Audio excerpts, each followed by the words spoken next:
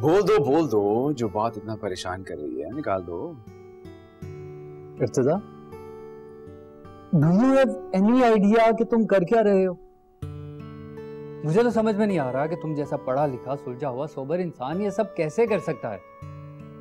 ये कोई फ़िल्म नहीं है असल ज़िंदगी है दुनिया है। और इसी दुनिया में पहली बार मुझे ऐसा इंसान मिला जो कि इर्तजा आली बेग को नहीं जानता ना पहचानता है। तो इससे क्या फ़र्क पड़ता है? फ़र्क पड़ता है।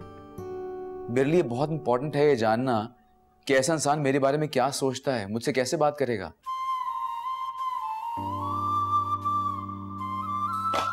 नहीं समझेगा यार।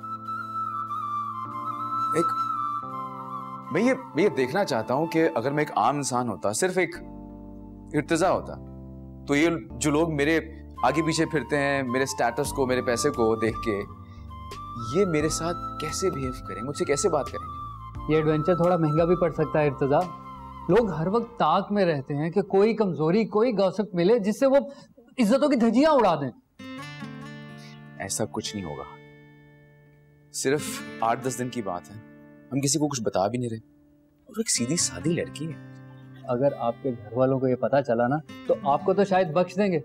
लेकिन आगा जान जो मेरा हाल करेंगे ना तो, तो सोच सोच के खौफ आ रहा है।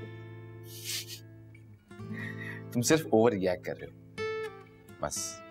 और हाँ तुम ही लेके जाओगे मुझे और तुम ही मुझे पिक भी करोगे। और मेरे अलावा वहाँ पे कोई भी नहीं होगा।